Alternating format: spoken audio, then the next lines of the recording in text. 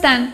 Me da mucho gusto saludarlos en esta emisión de Multiverso UAS, desde el estudio de televisión de comunicación social de la UAS. En esta ocasión comenzaremos con la opinión de la doctora Mónica Chávez Solórzano, quien es docente en la Unidad Académica de Estudios del Desarrollo y nos hablará del interesante tema del desarrollo de vacunas en países latinoamericanos.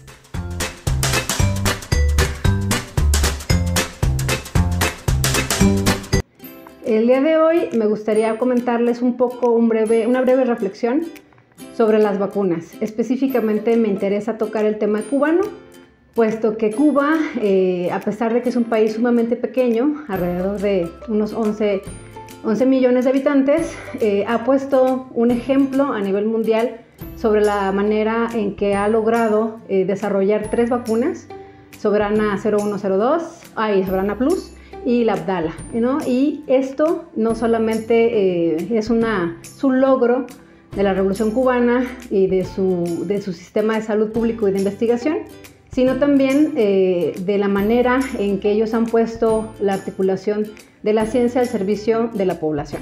Entonces considero que el caso cubano debe ser un ejemplo para todas las economías, especialmente para la mexicana, para retomar eh, proyectos que son de interés nacional y sobre todo de, soberanía, como ya dije, eh, específicamente ahora que enfrentamos la COVID-19. ¿no? En México ya, se ha iniciado un programa eh, retomando la, vacuna patria, se están haciendo las, las fases eh, de investigación para lograr obtener esta vacuna.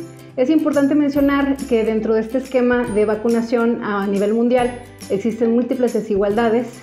una de ellas está impulsada por la cuestión de la generación de ganancia extraordinaria, puesto que muchos de los desarrolladores eh, de vacunas a nivel mundial eh, están siendo financiados por grandes conglomerados en donde pues los interesa tener una ganancia garantizada, ¿no? Por ejemplo, hablo de BlackRock o también de Vanguard, que son, digamos, accionistas de las principales este, empresas a nivel mundial, incluidas las farmacéuticas, ¿no? En ese sentido, también cabe mencionar el rol que tiene la OMS, la, la Organización Mundial de la Salud, puesto que más que sea un ente regulador, es alguien que sí avala o que sí da una luz verde, ¿verdad? aquellas, eh, em, digamos, vacunas o farmacéuticas que tienen vacunas para combatir la COVID-19, ¿no? Y en ese sentido entra también Cuba eh, y, la vacuna también rusa, Sputnik 5, quienes no han tenido el aval, digamos, de la, OMS para eh, comercializar o para, digamos, eh, bueno, no comercializar, sino para, digamos, em, aprobar este uso de vacunas y por lo tanto existen restricciones de movilidad, ¿no? O sea, si tú tienes una vacuna que no ha sido reconocida por la OMS, pues seguramente entrar a países desarrollados va a ser un problema.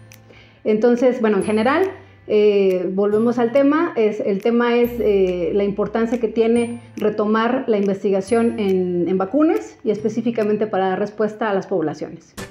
La Clínica de Medicina Deportiva de la UAS brinda atención al público en general para restablecer la salud de los deportistas zacatecanos.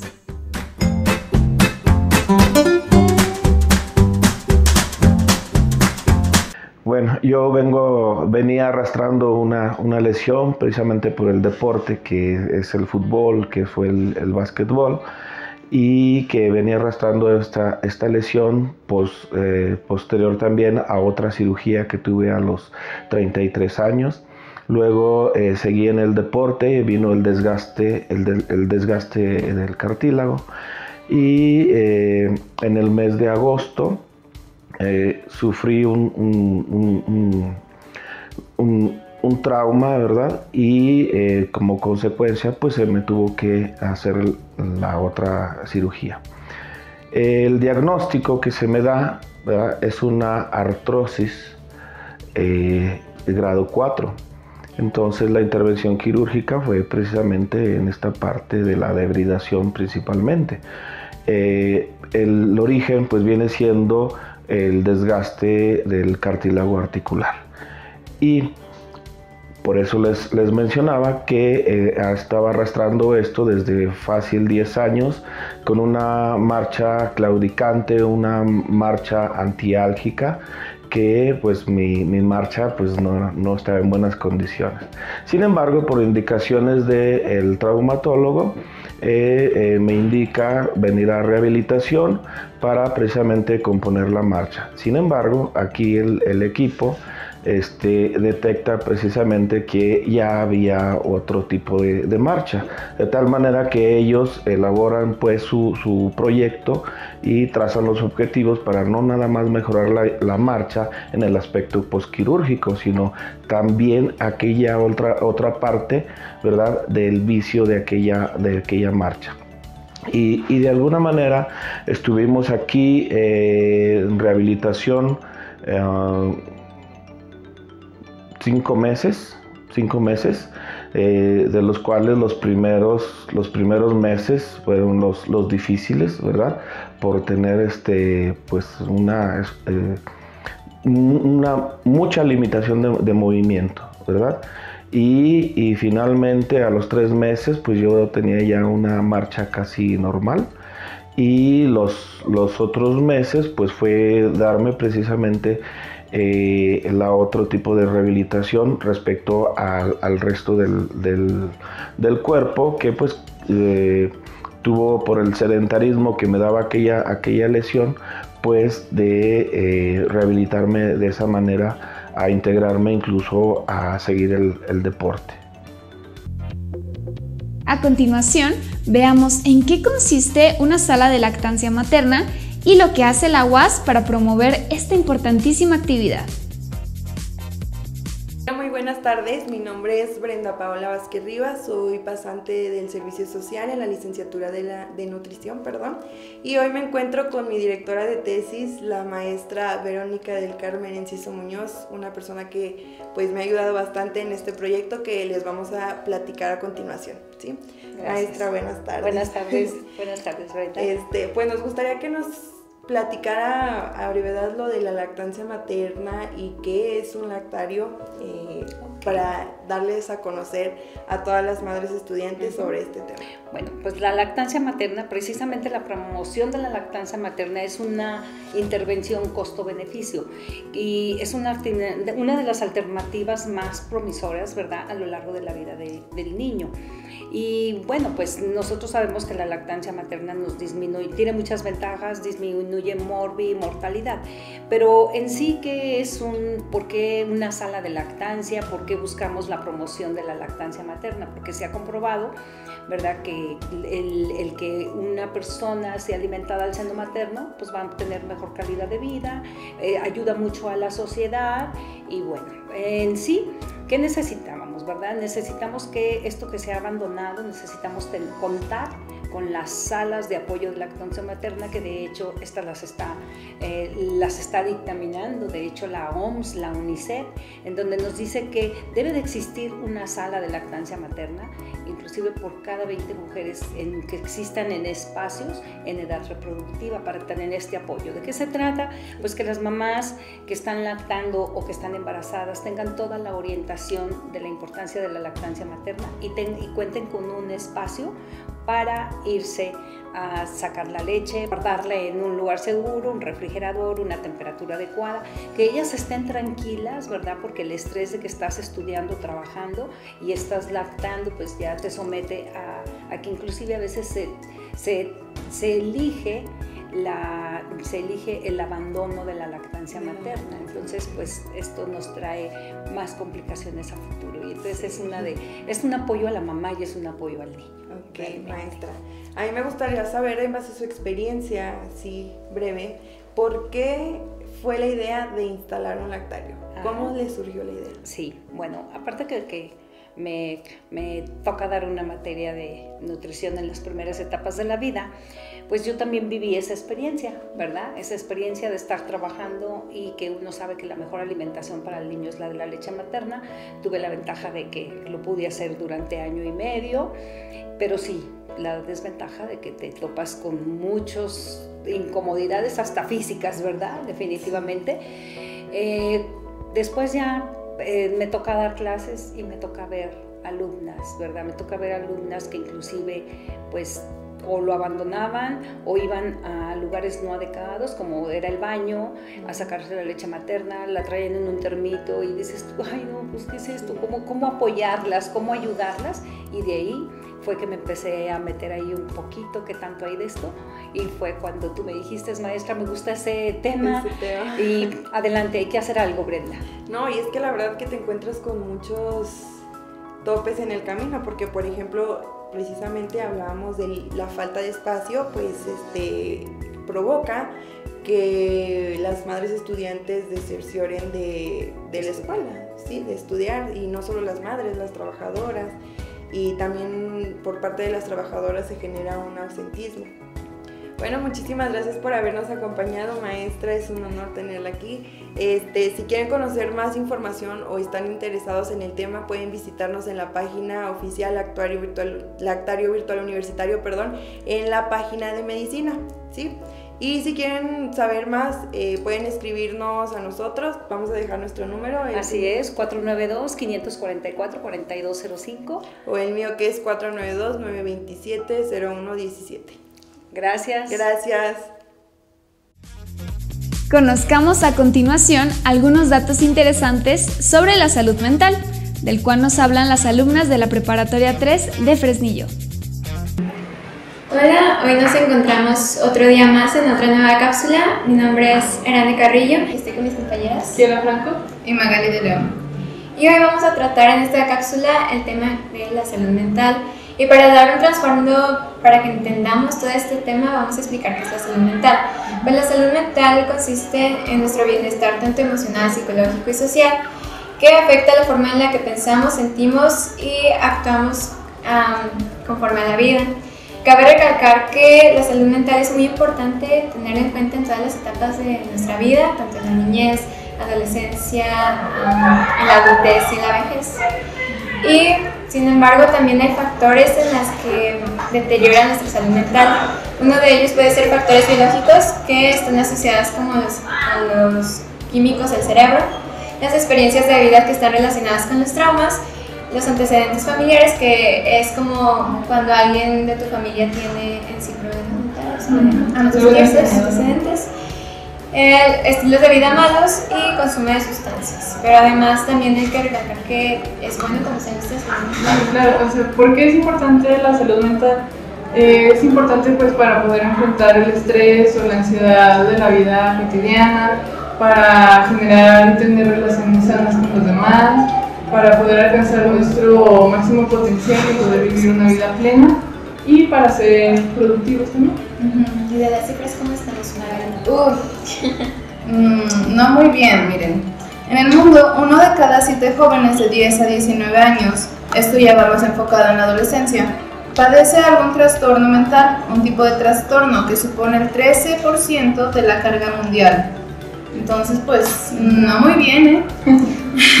Y además, el hecho de no ocuparse de los trastornos de salud mental de los adolescentes tiene consecuencias que se extienden a la edad adulta, perjudican la salud física y mental de la persona y restringen sus posibilidades de llevar una vida plena en un futuro. Es muy, muy interesante. Como un dato curioso, el día 10 de octubre es el Día Mundial de la Salud Mental, que precisamente es para fomentar y concientizar acerca de este ámbito que es muy importante en la vida de cada persona. Este, también algo que no todas las personas saben es que la Fundación UAS tiene un centro de intervención y servicios psicológicos a distancia que es totalmente gratuito porque pues, la salud mental no es accesible siempre para, para, todos. para todos. Entonces, eh, pues ahí se brindan terapias, primeros auxilios, manejos de crisis psicológica y el número es 492-234-0310. ¿Podrías repetirlo por si a alguien se le pasó? Claro que sí, es 492-234-03. Todo esto es muy interesante, ¿verdad? Pero dado que en la pandemia nos estamos dando cuenta que nuestra salud mental es muy importante, pero ¿por qué creen que no se le da la suficiente importancia? Mm, bueno, pienso que es porque eh, nunca nos hemos enseñado a cuidar este ámbito de nuestra vida y siempre es como Sí, creo que la mayor parte del tiempo te, eh, se enfocan más en lo físico. Si te duele una pierna, si te duele un brazo, te dicen, vamos con el doctor, pero si te sientes deprimido, triste o de cualquier forma menos feliz, eh, no te toman mucho en cuenta. ¿Qué quieren agregar? De mi parte sería todo. Si tienen alguna crisis o que se sientan abrumados mentalmente, no duden en pedir ayuda. Bueno, y hasta aquí llegó la cápsula. Esperamos que les haya gustado mucho. Y pues hasta la siguiente, ¿verdad? Hasta luego. Adiós. A continuación, alumnos de la Preparatoria 1 nos cuentan sus experiencias en el taller de lectura organizado por los maestros de esta unidad académica. Cuando nos dieron la noticia de que íbamos a empezar a trabajar un taller de lectura, en lo personal yo me emocioné mucho porque siempre me ha gustado mucho la lectura y ha sido muy divertido porque los maestros son excelentes maestros, saben llevar las clases y creo que es algo que debemos reconocer ah, para... Pues es un ámbito que nos inculcan desde niños a leer los cuentitos y yo no había entrado a, a la lectura así tan profundo como hasta ahora y la verdad me ha gustado mucho y más por los maestros que me han tocado porque eh, llevan las clases a la perfección, nos explican todo muy bien y pues sí, unas excelentes personas además de eso. Gracias mucho porque es pues algo que es muy, muy especial, te permite muchas cosas, este, simplemente con el hecho de, de, crear otra realidad, de imaginar muchas cosas, de, de poder crear, de, imaginar, de todo eso es, es muy muy bonito. y... Los maestros se dan cuenta inmediatamente de quiénes son las personas que tienen el corazón para esto. Ellos son muy sabios, la verdad, por algo son maestros, ¿no? Y yo creo que para las futuras generaciones es muy importante que sepan que la lectura es una cosa importantísima y es un medio muy bonito de expresión y a mí me gusta muchísimo. Pues sin la lectura, pues no aprendemos realmente. Entonces es una fortaleza que tenemos los que los que nos gusta leer y pues es algo, algo muy importante, algo muy padre, porque pues si te transportas a otros mundos, pero además de, de, lo de la fantasía, pues podemos entrar en otros contextos y aprender muchas cosas, historia de México, matemáticas, así, o sea, diversos mm, mm, contextos. Sino que, sirve como método de enseñanza, como eh, es, es, la base de todo la lectura. Mm, pues gracias a ellos es que aprendemos porque es la principal fuente de aprendizaje. Em, donde se puede donde se pueden registrar los conocimientos y todo entonces es algo muy pues muy importante y que yo llevo desde, pues desde que era niño, casi siempre este, comprendía muy bien los, los temas y pues es algo que me, que me gusta desde pequeño. Principalmente leo novelas porque son las que más me atrapan. Y en este curso, en el taller, este, empezamos a leer cuentos, por ejemplo, de Amparo Dávila, que es una excelente cuentista de aquí, de Zacatecas, y también vimos los ensayos. Pero en sí siempre me han gustado las novelas y el romance, por ejemplo, Jane Austen, y todo, todos sus libros son los principales que leí porque al ser una niña tan retraída como yo creo que la lectura era como mi único medio de diversión, entonces yo he leído todos esos libros y han sido mis favoritos desde siempre. bueno, desde que yo era pequeña me incitaron a la lectura y me ponían cuentos de princesas Disney y en lo personal me encantaron mucho, pero creo que lo que más me atrapa es la novela, porque es lo que como que tiene un poco más parecido a la película, o más bien de ahí sacan las películas, entonces es como que algo que me atrapa. en este semestre leí el libro de Mujercitas y fue uno que me atrapó mucho y lo terminé súper rápido en una semana. Bueno, para mí como que es un logro porque nunca había terminado un libro tan rápido y me, encantó. Eh, y pues sí, la novela es lo que más, más como que me atrapa un poquito. Eh, que te atrapan mucho, que te atraen, que te hacen imaginar, eh, que te llevan a lugares muy, muy, muy diversos, aunque tú estés, en, por ejemplo, en tu casa, si lo estás leyendo en, en, un sillón o en una cama, siempre te va a llevar a lugares muy, muy lejanos cada que los lees. por lo mismo de la, de la extensión de la novela, pues es que te hace imaginar muchas más cosas, te puedes identificar con los personajes, te puedes este, imaginar esas situaciones que viven ellos, aunque en realidad muchas veces no son ciertas, que sean ficticias, pero en sí te llegas a identificar con los personajes, llegas a sentir este, lo que ellos harían o empiezas a imaginar muchas cosas fuera del libro. Entonces por eso la novela es lo que, lo que a mí más, más me atrapa, más me gusta, aunque también los cuentos, en especial los cuentos de terror, por ejemplo, de los de Stephen King, los de Amparo Dávila, José Luis Maldonado nos habla en esta ocasión sobre el trabajo cinematográfico del director estadounidense Robert Eggers. Robert Eggers es un director de cine estadounidense que sorprendió en el año 2015 con su película La Bruja. Una película de suspenso y terror que se desarrollaba en Nueva Inglaterra del siglo XVII.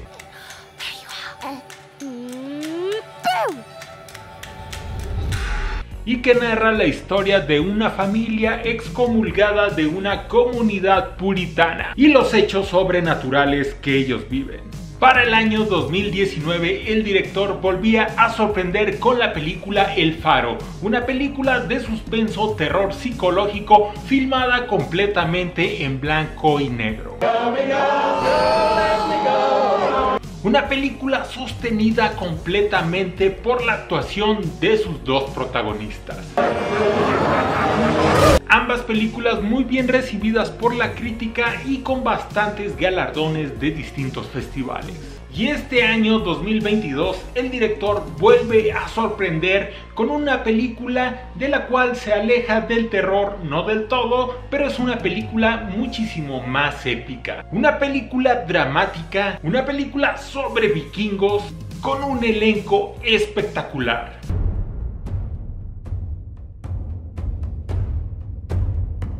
Por supuesto que me refiero a The Northman. Hamlet es una leyenda medieval escandinava sobre la cual trata esta película y sobre la cual a su vez Shakespeare se basó para crear Hamlet.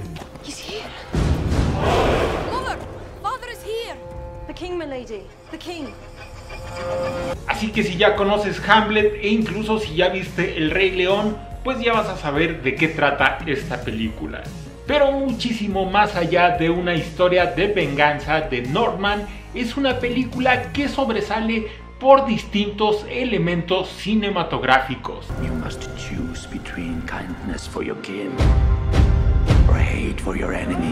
Principalmente por retratar a la cultura vikinga de una forma muy visceral, muy estilizada y sobre todo muy épica.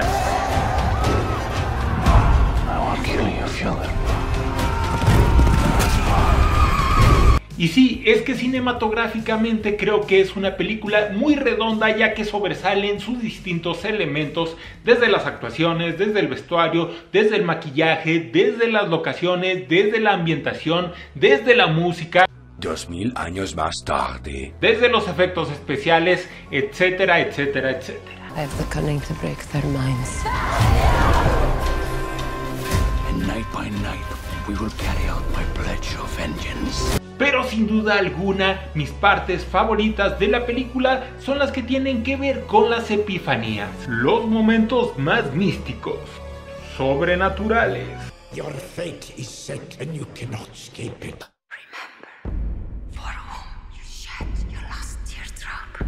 Que a fin de cuentas nos hacen preguntarnos, o al menos a mí me hicieron preguntármelo, si realmente están pasando dentro de la película. Y me encanta cómo se utilizan los efectos CGI con una sutileza, con una sofisticación que no satura los momentos en los que aparece la película y realmente se ven sensacionables. De verdad ya no quiero hacer más grande esta reseña porque es una película a la que no le encuentro nada malo, que la disfruté mucho y siento que es una película que tienes que ver en el cine sí o sí, así que corre a verla. El doctor Roberto Soto Esquivel, docente de la Unidad Académica de Estudios del Desarrollo, nos explica algunas particularidades sobre la inflación. Acompáñenos.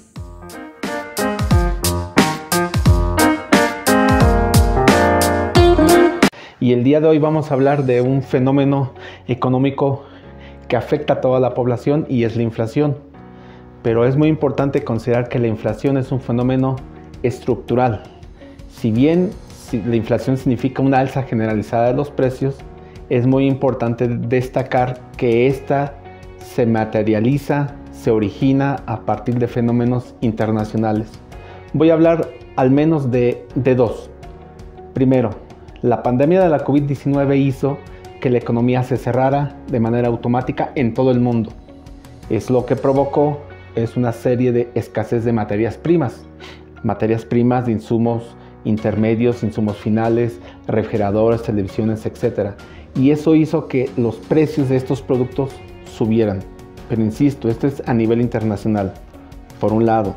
Por otro lado, hubo una crisis de, de la llamada crisis de los contenedores que hizo que los bancos, los barcos se quedaran estancados en los puertos, principalmente en los Estados Unidos, lo que encareció nuevamente los productos de, de, la canasta básica, de todos los productos, automóviles, televisiones, etcétera, etcétera. A su vez hubo una crisis de los chips, los chips que sirven para producir eh, televisiones, computadoras, automóviles. Entonces, esta serie de, fenómenos hizo que los precios subieran a nivel internacional y por, por cierto esto se reflejó también en la economía, en economías como la mexicana. Pero si todavía no, no, no consideramos que es lo último, tenemos la famosa guerra, el conflicto bélico entre Ucrania y Rusia. Resulta que estos dos países son países altamente productores de materias primas, principalmente trigo y gas. Entonces eso eh, está haciendo que ciertos productos se encarezcan, principalmente en Europa. Entonces los países europeos tienen una serie de, problemas de escasez de energía y obviamente de, gas natural. Entonces todo esto afecta a las economías como la mexicana, que por, ejemplo se ve reflejado en el precio del gas en el país, donde se incrementaron de manera muy, muy importante el precio del gas. El precio de la gasolina, si bien se está conteniendo, sí ha aumentado y esto hace que los, los productos se encarezcan. Soluciones. Por un lado, el Banco Central está incrementando la tasa de interés, pero tal parece que esto es, es insuficiente. Entonces, una recomendación que haría yo es que hubiera un control de precios temporal de ciertos productos de la canasta básica. Esto es una medida totalmente distinta a lo que practican los bancos centrales como el Banco de México. Pero si tomamos el ejemplo de lo que ha hecho el gobierno con poner topes máximos al precio del gas, esto hace que disminuyan los precios o contengamos los precios en un periodo determinado. Entonces yo sugiero esta medida, una contención de precios de ciertos productos de forma temporal. Los docentes investigadores de nuestra universidad están organizados en cuerpos académicos que se ocupan de temas específicos según su área de conocimiento. Conozcamos a continuación el trabajo de uno de ellos. Buenos días, soy la doctora Beatriz Mabel Pacheco Amigo, adscrita en la Unidad Académica de Psicología de la Universidad Autónoma de Zacatecas, líder del cuerpo académico CAS 212 correspondiente a Políticas Institucionales para el Desarrollo de la Personalidad. Este cuerpo académico está em, constituido por la doctora Emma Perla Solís Reséndez, por el doctor Jorge Luis Lozano Gutiérrez y el maestro en ciencias Francisco Javier Rodríguez García. Es importante establecer eh, que bajo el marco de esta de este cuerpo académico se establecen diversas líneas de investigación. Eh, estas líneas de, investigación están abordadas desde el punto de vista de prevención, desde el punto de vista de diagnóstico, desde el punto de vista de tratamiento y obviamente desde funciones de perspectivas eh, institucionales para poder salvaguardar las necesidades emergentes que constantemente están surgiendo en la sociedad. Eh, como temas esenciales en, las investigaciones que se tienen en el cuerpo académico, están orientadas a lo que es, eh, como lo mencionaba, prevención primaria, secundaria y terciaria, eh, está orientado a, menores de edad, o sea, a niños, adolescentes, está orientado también a personas adultas y, en algunos casos eh, a personas ya de la tercera edad.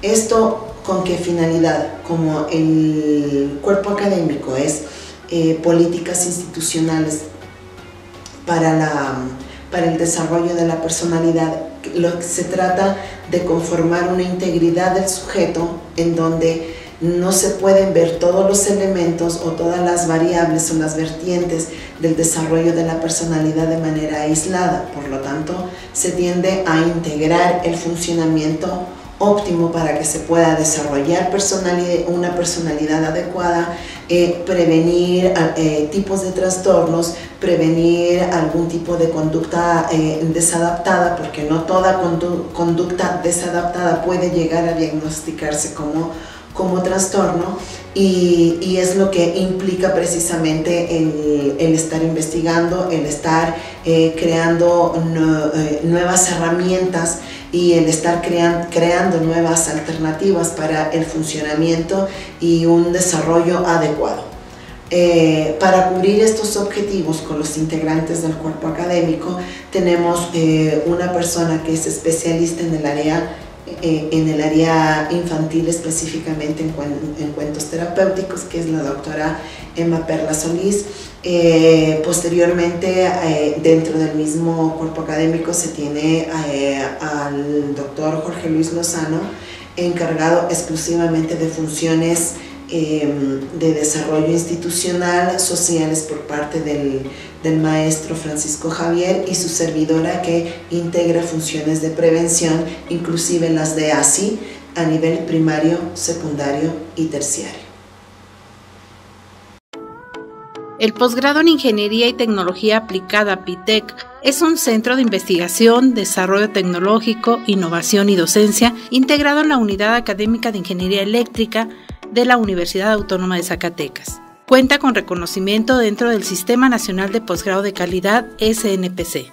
Los programas de maestría y doctorado en Ingeniería y Tecnología Aplicada forman capital humano de alto nivel ético, analítico, crítico, emprendedor, competitivo, creativo e innovador, con alto sentido social y con conocimientos sólidos en ingeniería y tecnología en las áreas de industria 4.0, diseño electrónico avanzado, sistemas embebidos, agrotecnología, biotecnología, biomedicina, inteligencia artificial, sistemas ciberfísicos inteligentes, robótica, manufactura avanzada, Internet de las Cosas, cómputo en la nube, Big Data y analítica y realidad aumentada. El PITEC ofrece también la oportunidad a estudiantes de instituciones educativas y centros de investigación y desarrollo de distintos niveles académicos de realizar servicio social, práctica profesional, tesis de licenciatura, tesis de maestría, tesis de doctorado, proyectos de postdoctorado, así como colaboración y transferencia científico-tecnológica en el desarrollo de proyectos con centros de investigación y desarrollo nacionales e internacionales. El posgrado cuenta con varios laboratorios de alto prestigio y reconocimiento ante CONACYT, como el Laboratorio Nacional en Sistemas Embebidos, Diseño Electrónico Avanzado y Microsistemas, CEDIAM, el Laboratorio de Innovación y Desarrollo Tecnológico en Inteligencia Artificial, LITIA, y Centro de Investigación y Desarrollo en Telecomunicaciones Espaciales,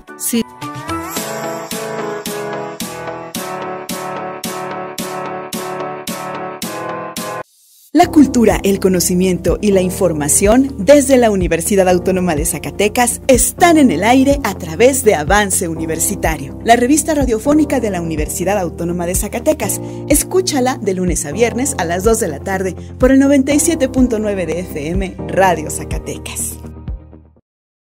La convocatoria para iniciar estudios de preparatoria en la Universidad Autónoma de Zacatecas se encuentra abierta. Acompáñenos y entérese de los detalles en nuestra siguiente cápsula informativa.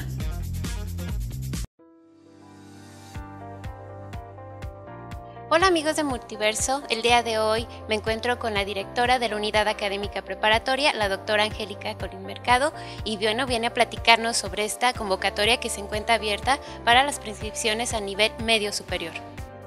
¿Qué tal? Muchísimas gracias por la invitación. Por supuesto que sí, venimos a invitar a todos aquellos jóvenes y jovencitas que vean en nosotros la opción para continuar sus estudios del nivel medio superior, la cual se encuentra aperturada la convocatoria de preinscripción a través de nuestra página oficial escolar.was.edu.mx y por supuesto nuestra, nuestra fuente oficial que es la .was.edu.mx. Ahí podrán ver todos ustedes los requisitos de la convocatoria, las fechas y que por supuesto estamos aperturados para que conozcan nuestra oferta educativa y que sean parte de esta familia universitaria. Doctora Angélica, ¿cuáles son algunos de estos planteles? O bueno, si nos puede mencionar, sabemos que se tienen 13 planteles en la unidad académica preparatoria y decirnos dónde se encuentran ubicados. Claro que sí, nosotros somos 13 programas. 13 programas educativos, en los cuales, por supuesto, cuatro de ellos cuentan con extensiones. Nos encontramos en 11 municipios dentro del estado de Zacatecas, en la zona conurbada. Tenemos diferentes, diferentes planteles, desde la 1, la 2, la 4 que es la zona conurbada, y los demás se encuentran en diferentes municipios. Ahí podrán ustedes localizar la oferta que tenemos nosotros para todos ustedes. ¿Cuáles son las fortalezas que tiene la unidad académica preparatoria y por qué es una de las mejores opciones? Por supuesto que somos una de las mejores opciones a nivel medio superior. De antemano nuestra filosofía universitaria, la historia que nos respalda en la misma, es lo que hace el enriquecimiento de este currículum donde nuestros estudiantes van a fortalecerse. La eficiencia terminal, nuestro perfil de egreso va científico-humanístico, los preparamos nosotros para la vida. Estos jóvenes y jovencitas llevan una trayectoria de formación educativa que les va a permitir insertarse en su nivel superior con todas las herramientas y elementos positivos para que se puedan desarrollar de la mejor manera. El trabajo académico en los colectivos, ¿qué nos puede decir de eso? Gozamos de una planta docente muy enriquecida en su formación académica y el trabajo colegiado que mis compañeros docentes realizan día con día se ve reflejado justamente en el aula, donde en el aula esos conocimientos, esos contenidos los transmiten para que el aprendizaje sea significativo en estos estudiantes y por supuesto les den las herramientas para poder transitar a su nivel superior y finalmente, doctora, ¿cuáles han sido estos retos que han estado trabajando a raíz de pandemia y ahora esta nueva modalidad? ¿Qué mejoras se han, se han realizado? Eh, efectivamente, el mayor reto que tuvimos como administración y tenemos es el volvernos a incorporar a la vida cotidiana, a estar de manera presencial. En el mes de marzo nos dimos a la tarea de convocar ya nuestras aulas y ha sido un reto gradual donde lo hemos venido superando con la voluntad y por supuesto con toda la empatía de los colectivos, tanto docentes como estudiantes. Ha sido el gran reto volvernos a adaptar a lo siguiente. Bueno, pues ya, ya escucharon a los interesados a ingresar a la unidad académica preparatoria y bueno, agradezco a la doctora Angélica Colín Mercado, directora general de la, de la unidad académica preparatoria. Muchísimas gracias.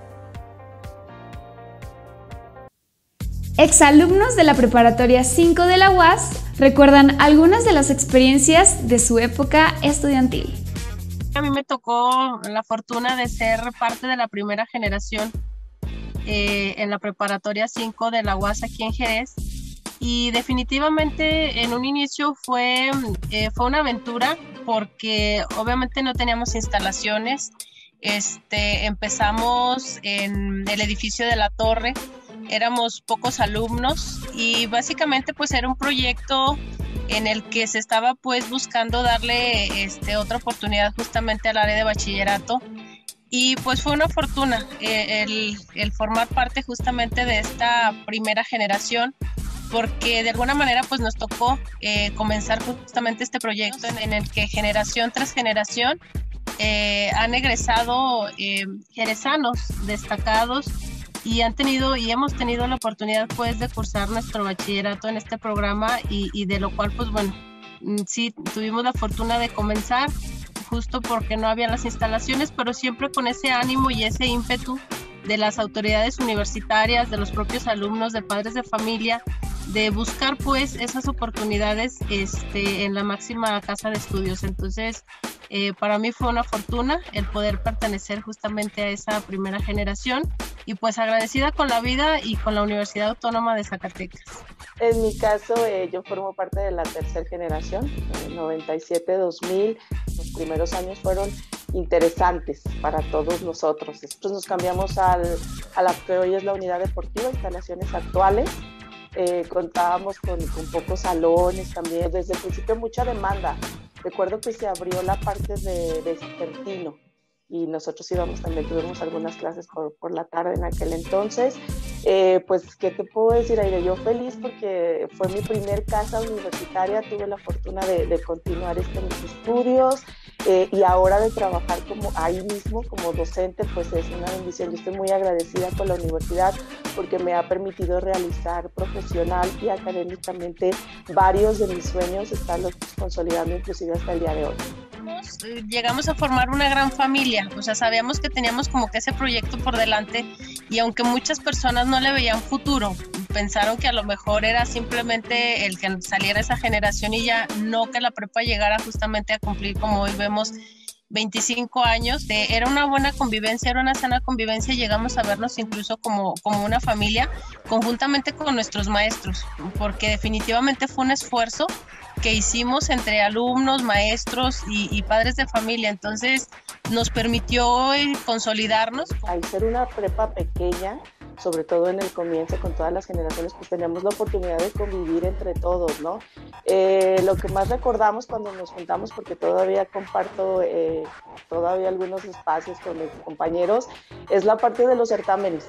Ahorita es lo que se me viene a la mente, ¿no? Nosotros fuimos muy mitoteros y hacíamos certámenes de belleza y ya este, por muchas cuestiones, te lo recuerdas, por muchas ocasiones ya nos están haciendo, ¿verdad? Pero estaba en el auge y para nosotros el organizar este, los certámenes desde lo previo, este, los ensayos, porque los hacíamos con producción, o sea, en el Teatro Hinojosa, a nuestra manera sacábamos adelante con cada talento eh, porque había pintores, en cuestión de grafitis, y era muy padre porque hacíamos escenografía, hacíamos, poníamos este vestuario, hacíamos todas nuestras producciones con conducción y demás. Y pues ahí ya te imaginarás el sinfín de experiencias, ¿no? Tanto detrás de telón, delante de telón, de caídas, equivocaciones. Eh, hacíamos también muchas reuniones en la parte del Día del Estudiante, del, 14 de febrero, del Día del Maestro, y se permitía la convivencia entre todos, ¿no? Desde primero hasta, tercer año ya después, porque de inicio pues era que un primero, un segundo, ¿no? pero ya después ya éramos un poco más. Para finalizar esta emisión, disfrutemos una muestra del trabajo de los alumnos de la licenciatura en Artes Escénicas de la UAS.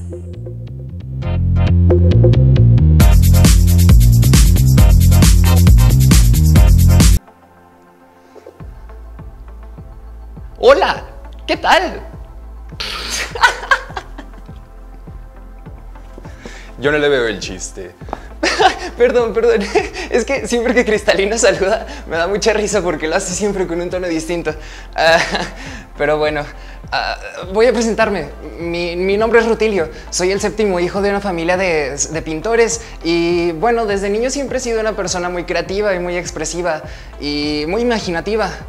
Imagino muchas cosas. Y bueno, tengo dos amigos, viven conmigo todo el tiempo.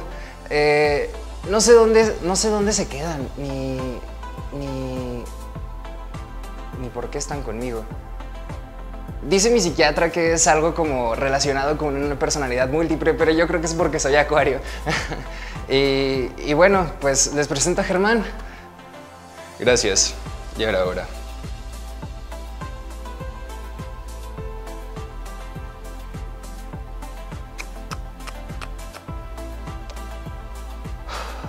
Mi nombre es Germán. Tengo 43 años y dice Rutilio que soy su mejor amigo, pero pues la edad no me cuadra. Me gusta el jazz y las artes y bueno, ¿qué más puedo decir que no haya dicho ya mis numerosos diplomas y logros en las artes del mundo? ¿Cuáles diplomas si ni terminaste la prepa? Ah, ya vas a empezar. Mi nombre es Cristalino. Vengo del año 2053 y estoy comandado por la división de la que formo parte. Los neorrancheros X. Mi misión en esta línea temporal es evitar la formación de cierto grupo antagónico que nos ha hecho la vida imposible durante años. Son extorsionadores y secuestradores. Los ultracholos 55. Y pues bueno, si ustedes, si alguno de ustedes ve a alguno por la calle o que alguien se empieza a comportar raro, que empiece a bailar chúntaro y así, pues me avisan, ¿verdad? Para llegar y darle sus patines y, evitar que, que vayan al futuro. Bueno, pues ellos son mis amigos. Se pelean todo el tiempo mejor hablemos de, lo que nos gusta hacer. Por ejemplo, a mí me gusta mucho dibujar. Eh, de hecho, creo que soy muy bueno. Eh, me he fabricado una, muy buena técnica y supongo que es algo de familia. De hecho, traigo algunos dibujos aquí conmigo. Por ejemplo, tengo este de un caballo verde. Eh, me gusta mucho su pelaje y tiene patas largas y grandes para poder correr más rápido. Es el caballo más rápido que existe, de hecho. Tengo este otro de un caballo rojo. Eh, este caballo puede sacar fuego por las, por las pezuñas. Y, bueno, últimamente no lo hace porque ya está muy flaquito, está muy desnutrido, casi no le dan de comer, pobrecito. Y tengo este otro que personalmente es mi favorito. Eh, es un caballo azul, se llama Coco. Bueno, no estoy seguro de eso, pero tiene cara de que se llama Coco. Eh,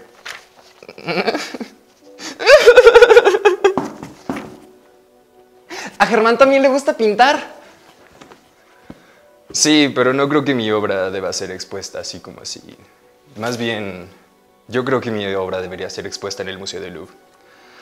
De hecho, cuando estuve en París, conocí al dueño del lugar, tomamos una copa de vino y él me dijo que mi obra podía valer millones, incluso más que la propia Gioconda. Lástima que murió el 30 de febrero. ¡Qué mentiroso eres, de verdad! ¡Qué mentiroso eres! Tú nunca en tu vida, ni siquiera en, en, lo que te queda de futuro, nunca en tu vida saliste de México. Es más, ni a Podaca llegaste, güey. Así que no andes diciendo cosas.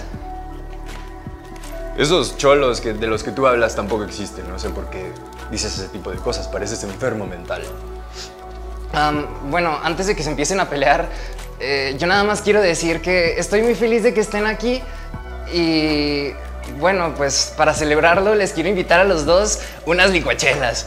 No, no, no, no, no, a mí no me metan en esa bolsa, no, no, no, esa es una aberración para la cerveza. Yo tengo que...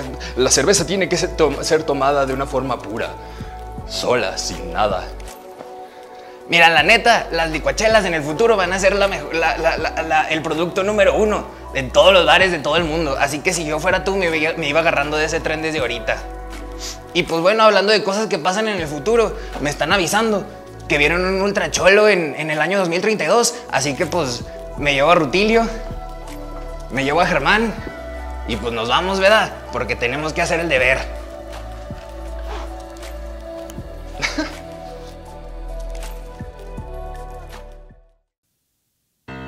Gracias por acompañarnos en esta emisión de Multiverso Was.